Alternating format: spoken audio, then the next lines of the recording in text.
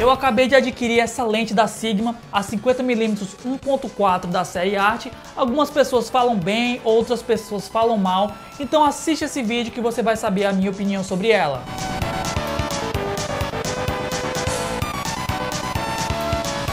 Bom, essa é a caixa da lente, tá aqui Sigma 50mm 1.4 DG da série Art. Vamos abrir aqui para ver o que é que vem dentro. Ó, ela vem aqui com esse case. Já protege a lente, mas não protege tanto, tá? Mas é um acessório bacana. Vamos ver aqui o que vem dentro. Ó, é pesada, hein? É pesadinha. Deixa eu tirar a lente aqui. Não tem mais nada dentro. Então, essa aqui é a lente, ó, bem pesada. Cara, ela é muito bonita, muito bonita mesmo. Cara, ela é bem pesada. Não, não sei como é que vai ficar na iOS RP.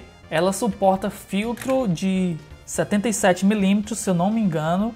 É, aqui ó, 77mm. Cara, é muito vidro. Deixa eu comparar ela com a cinquentinha. Olha aqui a cinquentinha 1.8 da Canon.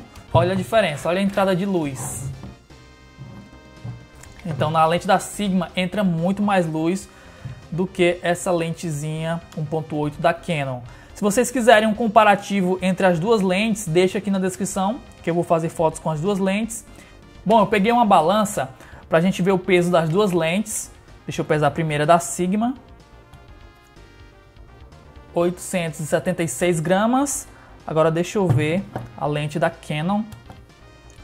169 gramas. Então a diferença absurda de peso e de tamanho, tá?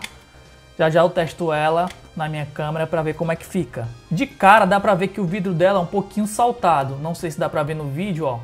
Mas é um pouquinho saltado e muito provavelmente que eu utilize esse parasol sempre na lente, mesmo em ambiente que não tenha sol, porque eu sou muito distraído e sempre taco o dedo aqui na lente e vai acabar sujando sempre que eu estiver trabalhando. Isso pode interferir principalmente no foco, então muito provável que eu deixe ela montada dessa forma aqui direto, tá? Pelo que eu vi aqui, ela é bem simples de operar, ó, só tem o um botão aqui de foco manual e foco automático.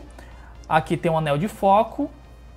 E aqui também tem a janelinha de foco. Cara, ela é muito bonita. Essa lente é muito bonita mesmo. Me surpreendeu. Essas partes aqui, ó, são plástico, tá? Parece metal, mas é um plástico.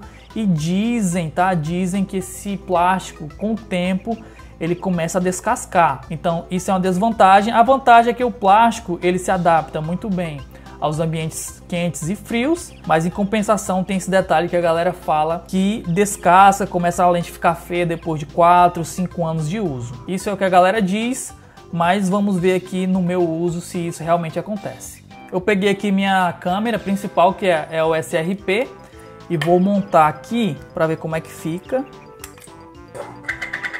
Deixa eu colocar aqui.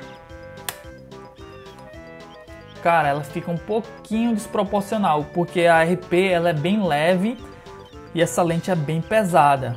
Então fica um pouquinho desconfortável aqui, mas devido ao adaptador, essa pegada aqui ela fica melhor, porque ela alonga um pouquinho a lente, né, ó.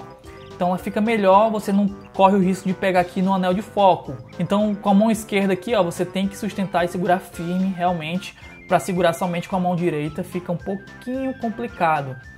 Mas é uma lente que fica muito bonita. Deixa eu colocar o parasol aqui. Cara, fica muito bonito, fica tão grande que nem cabe aqui na câmera. Ó. Vou colocar assim para vocês verem. Cara, fica muito da hora. Esse vai ser o meu setup principal agora de 2020. 50mm é a minha lente favorita.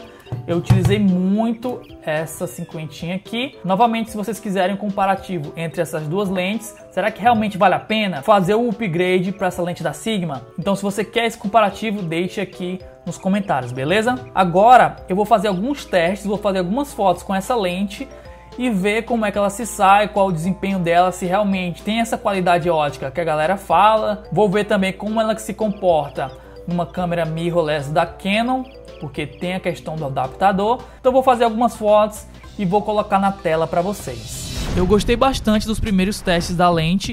Eu fiz algumas fotos do meu cachorro e mesmo em 1.4 ela apresentou muita nitidez e dá pra ver todos os pelinhos do cachorro.